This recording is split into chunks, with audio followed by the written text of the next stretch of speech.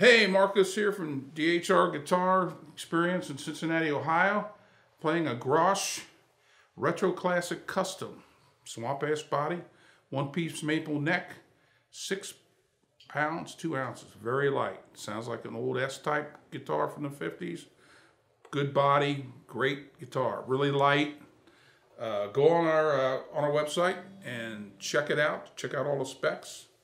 We can ship it to you today.